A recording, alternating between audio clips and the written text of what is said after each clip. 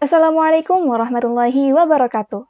Kembali lagi dengan kami di Funpedia. Belajar itu menyenangkan. Nah, jadi buat kalian yang belum tahu Funpedia itu apa, Funpedia itu adalah channel di mana kita akan bahas-bahas materi dan soal-soal. Jadi buat kamu yang belum subscribe, buruan subscribe dan jangan lupa nyalakan lonceng notifikasinya. Nah, sekarang ini kita mau membahas tentang teori kardinal. Teori kardinal ini merupakan salah satu teori di mana teori itu akan menggambarkan kepuasan konsumen atau perilaku konsumen. Nah, materi ini ada di pelajaran ekonomi SMA, baik di UTBK maupun di Olimpiade. Jadi, untuk video kali ini kita akan membahas singkat tentang teori kardinalnya sendiri, serta akan membahas sedikit soalnya. Oke, yang pertama, apa sih teori kardinal itu? Teori kardinal itu adalah salah satu teori di materi perilaku konsumen. Perilaku konsumen itu apa? Perilaku konsumen itu kita mau melihat gimana sih konsumen itu berperilaku, gimana sih konsumen itu melakukan tindakan ekonominya. Berbeda dengan perilaku produsen, produsen itu dalam usahanya dia itu berorientasi pada laba alias mencari keuntungan, sedangkan konsumen berorientasi pada utility alias kepuasan atau kegunaan, sama aja. Nah, di dalam perilaku konsumen itu ada dua teori nih. Yang pertama, teori kardinal. Teori kardinal ini menyatakan bahwa kegunaan atau utility dapat dihitung secara nominal atau secara dengan angka gitu loh. Yang nama satuan unitnya adalah util. Nah, satu lagi apa sih? Satu lagi namanya teori ordinal. Teori ordinal ini adalah teori kebalikannya, alias menyatakan bahwa kegunaan atau kepuasan seseorang itu atau konsumen itu nggak bisa dihitung secara nominal, melainkan bisa dibandingkan. Itu. Nah, karena sekarang kita itu mau membahas teori kardinal aja, jadi kita masuk langsung ke materinya. Yang pertama, jadi di dalam teori kardinal ini ada dua hukum yang paling dikenal, ada hukum Gosen 1 dan hukum Gosen 2. Hukum Gosen ini dikeluarkan oleh seseorang bernama Hermann Hendrik Gosen.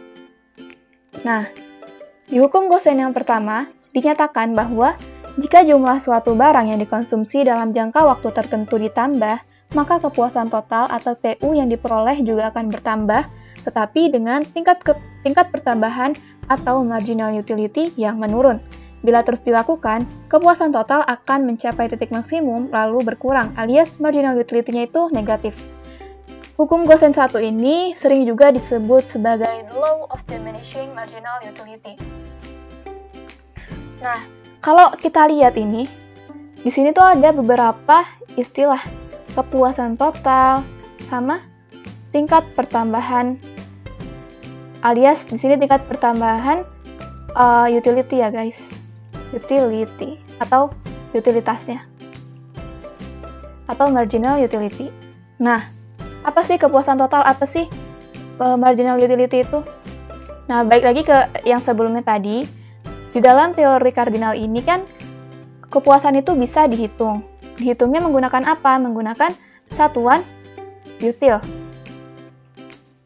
Nah, oleh karena itu kita bisa mendapatkan total utility itu adalah total kepuasan yang didapatkan si mulai dari uh, apa namanya barang pertama atau produk dan barang dan jasa pertama yang dikonsumsi sampai barang dan jasa terakhir itu nanti ditotalkan itu total utility-nya. Sedangkan marginal utility itu apa sih? Marginal utility itu adalah pertambahan, tingkat pertambahan atau berapa sih bertambahnya kepuasan setiap dia menambah konsumsi sebesar satu barang atau jasa. Jadi marginal utility ini dia kalau secara matematis dia digambarkan dengan delta total utility per delta key. Jadi berapa sih perubahan total utility yang bertambah ketika ada perubahan uh, kuantitas sebesar satu pertambahan konsumsi sebesar 1. Nah, misalnya kita lihat contohnya di sini. Di sini adalah tabel uh, yang menggambarkan adanya kuantitas, total utility, sama marginal utility dari barang yang dikonsumsi. Nah, tabel kolom key ini menunjukkan berapa atau kuantitas keberapa yang dikonsumsi oleh konsumen tersebut. Di sini menggambarkan total utility yang diperoleh ketika mengonsumsi barang tadi itu marginal utility-nya.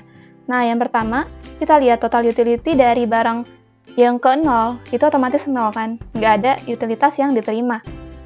Untuk barang pertama, ketika dikonsumsi barang pertama, didapatkan total utility sebesar 15 misalnya.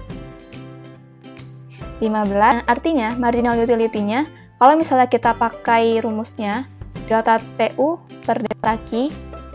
Jadi TU-nya itu kan dari 0 ke 15 ada 15. 15 per 1 sama dengan 15. Berarti marginal utility di barang pertama itu sama dengan total utility-nya ya, sebesar 15 util. Nah, barang kedua gimana? Misalnya di barang kedua, total utilitasnya itu menjadi 22. Artinya, uh, di sini ada bagian dari kuantitas yang dari barang yang pertama dengan ditambah utilitas dari barang yang kedua. Jadi, mau kita lihat marginal utility-nya atau utilitas yang dihasilkan dari barang kedua aja, kita pakai rumus yang tadi, delta TU per delta Q. Delta TU-nya berapa sih? Delta TU-nya itu berarti dari 2, dari 15 ke 22. 7 ya delta Q-nya adalah dari 1 ke 2, 1. Berarti 7 per 1. Berarti marginal utility-nya adalah sebesar 7. Untuk barang yang ketiga, sama kayak gitu juga. Misalnya barang ketiga itu total utilitasnya adalah menjadi 26. Nah, artinya ada bagian di dalam 20 ini utilitas milik kedua barang sebelumnya. Berarti, untuk mencari utilitas yang dihasilkan oleh ketiga aja, kita bisa hitung dengan marginal utility atau tambahan kepuasannya di kuantitas yang ketiga. Berarti kita ya, yang ketiga adalah delta TU dari 22 ke 26 itu adalah 4 ya, sebesar per delta Q-nya itu dari 2 ke 3 adalah sebesar 1. Berarti kita mendapatkan marginal utility-nya adalah 4. Nah, bisa kita lihat di sini marginal utility-nya yang ketika barang pertama semakin meningkat. Dia bertambah terus. Nah, ternyata pada setelah barang pertama, si konsumen itu kepuasan, tambahan kepuasannya itu berkurang. Dia menjadi 7, berarti ada pengurangan nih, terus juga pengurangan lain. Nah, berarti kalau terus berkurang, uh, dia, jika dia menambah terus konsumsinya, maka ada kemungkinan bahkan melewati sumbu dari X ini. Jadi dia tuh berkemungkinan akan menghasilkan marginal utility yang negatif alias tambahannya itu berkurang sehingga pada akhirnya akan menurunkan total utilitas itu sendiri gitu. Contohnya gimana sih? Contohnya itu kalau misalnya kalian itu habis olahraga, berarti kan kalian kayak haus banget gitu kan. Nah, kalian tuh haus Berarti ketika kalian mau minum dan kalian udah minum satu botol itu kayak rasanya lega gitu, hausnya hilang. Itu tuh marginal utility-nya itu besar gitu, masih positif, masih bertambah gitu. Yang tadinya nggak, yang tadinya haus, terus kalian minum, terus ada kepuasan gitu dalam minum botol pertama itu, kepuasan yang besar karena haus banget gitu kan. Nah ternyata ketika mau minum lagi di botol kedua masih masih ada tambahan kepuasan tapi nggak sepuas yang pertama karena dia udah agak kembung gitu, agak kenyang minum air terlalu banyak. Nah, begitu juga ketika dia menambah konsumsi lagi yang di botol ketiga, marginal utility-nya atau tambahan kepuasannya itu nggak sebesar di botol kedua atau botol pertama. Gitu, karena kayak udah enek gitu, terlalu banyak minum. Nah, dengan begitu kita bisa tahu mungkin di botol-botol selanjutnya, ada botol keempat, botol kelima, itu bisa aja marginal utility-nya udah negatif. Misalnya di sini udah min 5. Gitu. Berarti karena margin utilitasnya negatif, otomatis total utility-nya akan ikut berkurang. Misalnya gini, di sini ada 26. Misalnya di botol keempat kita punya 28. Berarti marginal utility-nya delta TU per delta I. Berarti delta TU-nya itu sebesar 2 per delta Q-nya itu sebesar 1. Berarti 2 per 1, 2 ya. Nah, misalnya di sini uh, si total utility-nya jadi 23. Berarti kan ada penurunan dari total utility-nya ini sebesar min 5 kan, yaitu sebesar marginal utility-nya. Nah, yang tadi jadi marginal utility ini jadi negatif gitu. Di sinilah yang disebut the law of diminishing marginal utility alias hukum yang menggambarkan adanya pertambahan dari utilitas. Itu di mana? Jadi, the law of diminishing marginal utility-nya itu berlaku ketika adanya penurunan dari marginal utility itu. Gitu. Jadi di sini kan kita bisa lihat nih. Yang pertama, di botol ke 0 alias sebelum dia mengonsumsi air minum, marginal utility-nya tuh bertambah sebesar 15. Nah, ternyata setelah itu botol kedua itu marginal utility-nya justru berkurang, yaitu menjadi sebesar 7, berarti ada pengurangan sebesar 8. Nah, ketika adanya penurunan marginal utility itulah dia berlaku hukum diminishing marginal utility gitu. Berarti berlakunya mulai dari botol kedua ini nih. Nah, sekarang ada nih uh, apa namanya? sumbu X dan sumbu Y dari grafik yang mau kita buat. Sekarang kita akan coba buat dulu uh, grafik atau kurva dari total utility-nya. Lalu utility yang pertama berarti kan 0 kan? Berarti belum ada. Terus di kuantitas yang pertama ada total 15. Berarti kita tarik Berarti ini titik pertama. Terus di kuantitas kedua itu ada oh, total utility-nya sebesar 22.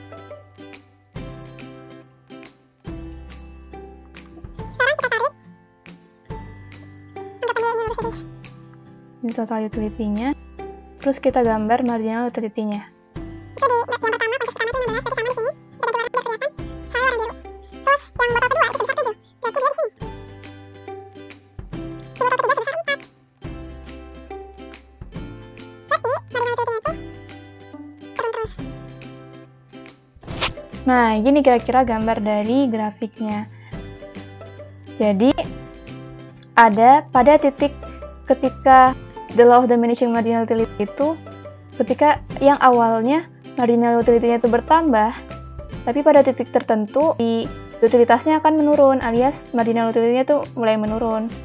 Nah, di situ hukumnya berlaku. Gitu. Jadi hukum Gosen pertama kayak gitu. Selanjutnya, kita akan membahas hukum Gosen yang kedua. Hukum Gosen kedua ini berbunyi Seorang konsumen akan membagi-bagi pengeluaran uangnya untuk membeli berbagai macam barang sedemikian rupa sehingga kebutuhannya terpenuhi secara seimbang. Jadi di dalam hukum Gosen 2 ini diasumsikan bahwa uh, konsumen itu telah menyiapkan pendapatannya itu untuk memenuhi konsumsinya. Gitu. Jadi dipakai semua. Dan konsumen itu diasumsikan akan terus mengonsumsi hingga uh, ia akan berhenti pada titik di mana kepuasannya itu eh, dia berada pada titik keseimbangannya itu ada di sini nih. Marginal utility barang yang satu sama dengan marginal utility barang yang kedua alias ketika kebutuhannya itu terpenuhi secara seimbang masing-masing. Nah, ketika barang itu memiliki harga yang berbeda-beda, maka berlaku rumus sebagai berikut, yaitu marginal utility barang X dibandingkan dengan harga barang X akan sama dengan marginal utility barang Y dibandingkan harga barang Y, dan seterusnya. Nah, maksud soalnya gimana sih? Jadi, uh, setelah ini kita akan lihat so contoh soal dari hukum Gosen kedua ini.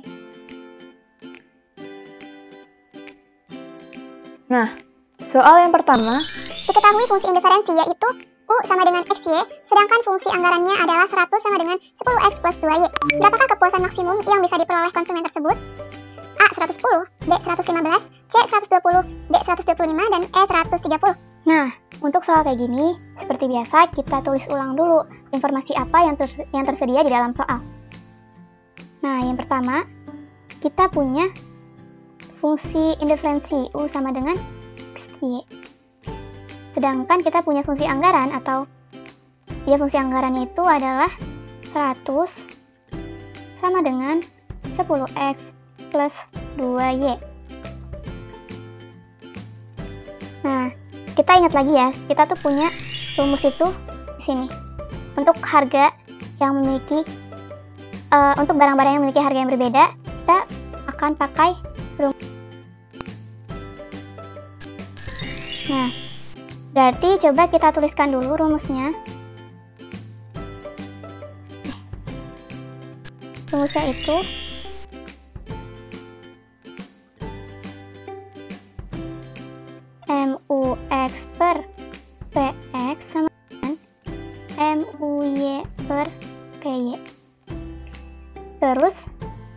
bisa nih, kita ubah jadi MUX, kita kali silang, per UY sama dengan PX per PY. Sama aja kan? Nah, kalau kita cari satu-satu, misalnya kita mau cari MUX ya dulu. MUX artinya itu kan turunan pertama dari fungsi U terhadap variabel X. Nah, artinya kita turunkan nih, fungsi U ini kita turunkan terhadap variabel X. Berarti apa? Berarti sisa Y aja kan? Gitu. Nah, yang kedua, MUY sama ya. Berarti pertama fungsi U terhadap variabel Y. Berarti kita turunkan terhadap variabel y, kita akan dapat sebesar x. Nah, setelah itu, uh, kita kan punya fungsi budget atau fungsi anggaran itu 100 sama dengan 10x ditambah 2y. Nah, kita bisa tahu harganya nih dari sini. Gimana sih caranya? Jadi harganya bisa kita lihat dari koefisien masing-masing barang. Kan ada barang X dan barang Y. Kita melihat koefisiennya itu adalah uh, si harganya itu. Jadi 10 itu harganya barang X dan 2 itu harganya barang Y. Dari mana sih? Jadi misalnya ada fungsi budget atau fungsi anggaran. Uh, itu fungsinya itu adalah PX dikali X ditambah PY dikali Y ditambah ya, jadi sama ya, tergantung uh, barangnya itu, gitu. Nah, jadi karena di sini itu kan diketahui variabel dari barangnya itu aja kan berarti koefisiennya itu adalah harga mereka gitu berarti kita punya yang kedua itu adalah dengan 10 dan PY nya sama dengan 2 kita lanjutin kita masukin ke rumusnya nih kita punya rumus MUX MUX itu kita punya sebesar Y kita masukin jadi Y per MUY nya itu adalah X kita masukin Y per X sama dengan PX-nya itu berapa? PX-nya itu 10. 10 per 2. Gitu. Nah, kita kali silang aja nih. Kita dapat 2Y sama dengan 10X. Atau Y sama dengan Y sama dengan 5X. Nah, kita udah punya nih Y sama dengan 5X. Kita masukin aja atau kita substitusiin ke persamaan dari anggaran itu gitu jadi misalnya kita masukin kita substitusiin y sama dengan x kita masukin ke 100 sama dengan 10x ditambah 2 dikali 5x jadinya 100 sama dengan 10x ditambah 10x alias jadinya 100 sama dengan 20x kita akan dapat x nya itu adalah 5 setelah kita dapat x sama dengan 5 terusin aja lagi ke sini. Jadi kita masukin lagi Y sama dengan 5 dikali 5, 25. Dapat Y sebesar 25. Nah, ditanya apa sih? Berapakah kepuasan maksimum yang bisa diperoleh konsumen tersebut? Nah, fungsi kepuasannya tuh mana? Ya ini. Utilitas itu maksudnya total utility. Fungsi utilitasnya. Itu bisa kita dapatkan dengan mengalihkan jumlah barang X dikalikan dengan barang Y. Nah, kita sudah tahu nih jumlah barang X itu adalah 5 dan barangnya itu adalah 25. Kita kali aja. Berarti total utility yang maksimum akan dengan X dikali Y. alias 5 dikali 25. Sama dengan jawabannya adalah 125. Ada ya jawabannya ya? Itu. Kalau masih ada yang bingung coba diulang lagi. Kalau masih ada yang tanyain nanti kalian tanya aja di kolom komentar ya. Soal nomor 2. Diketahui fungsi indiferensi yaitu U sama dengan XY sama Y. Sedangkan fungsi anggarannya adalah 100 sama dengan 8X plus 2Y. Berapakah jumlah X dan Y yang dapat maksimum, memaksimumkan kepuasannya? Nah, jadi ini soalnya mirip, tapi yang ditanyakan adalah jumlah X dan Y-nya aja. Gitu. Berarti uh, relatif lebih gampang ya daripada yang soal sebelumnya. Seperti biasa kita tulis ulang. Kita punya fungsi kepuasan atau fungsi indiferensi itu X dikali Y. Sedangkan fungsi anggarannya itu adalah 100 sama dengan 8x plus 2y. Itu. Dan kita juga punya rumus yang tadi. x per muy sama dengan px per p.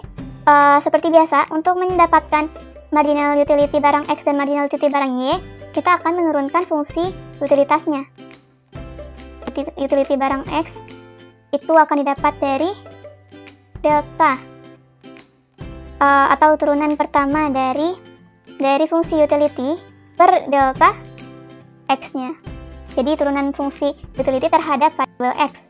Atau uh, kalau kita jabarkan itu kan rumusnya marginal utility utility itu adalah total utility delta total utility per delta key. Jadi karena nya itu x, jadi kita ganti key-nya itu sebagai x. Gitu sama aja. Jadi untuk menurunkan uh, fungsi x terhadap variabel fungsi u terhadap variabel x seperti biasa kita tinggal turunin aja. Berarti akan kita dapatkan y dan mu itu delta u per delta y sama dengan x setelah itu kita tinggal substitusiin substitusiin ke rumus yang kita punya sebelumnya Nah, MUX-nya. X-nya itu kan kita punya Y, berarti kita masukin Y. Per MUY-nya itu X, berarti kita masukin X. PX-nya seperti biasa. PX-nya itu atau harga X-nya itu adalah koefisien yang terdapat di variabel X. PX itu 8, dan PY-nya itu adalah 2. Berarti PX per PY adalah 8 per 2, atas 4 ya. Berarti kita bisa punya, kalau kita kali silang, ini jadi 4. Jadinya Y sama dengan 4X. Udah dapat Y sama dengan 4X, kita substitusiin ke dalam uh, fungsi anggarannya. Jadi kita masukin aja 100 sama dengan 8X plus 2, Y-nya kita masukin jadi X. Kita dapat 8X plus 8X sama dengan 100. Jadi kita punya 16X sama dengan 100. X-nya sama dengan 100 plus 100 plus didapat yaitu sebesar 6,25. Nah, kita udah ketemu X-nya itu berapa. Berarti tinggal kita masukin aja lagi. Kita cari. Kan Y-nya itu sama dengan berarti Y-nya itu adalah 4 kali 6,25. Alias jawabannya adalah 25. Jadi Y-nya sama dengan 25. Nah, karena yang ditanya adalah jumlah X dan barang Y yang dapat maksimal memaksimum memaksimumkan kepuasannya itu udah dapat nih kita karena kita memakai rumus ini rumus kepuasan maksimal itu kita akan langsung mendapat uh, jumlah barang dan jumlah barang X dan barang Y yang memaksimalkan kepuasan si konsumen itu berarti kita punya X-nya itu 6,25 dan Y-nya itu 25 kalau kita lihat jawabannya yaitu ada di pilihan yang D nah Gitu ya, kalau masih ada yang bingung, diulang aja. Atau kalau masih ada yang mau ditanyakan, silahkan tanyakan di kolom komentar. Nah, kayaknya udah dulu nih pembahasan dan materi kita di video kali ini. Terima kasih udah menonton. Jangan lupa di like, komen, dan subscribe. Terima kasih. Wassalamualaikum warahmatullahi wabarakatuh.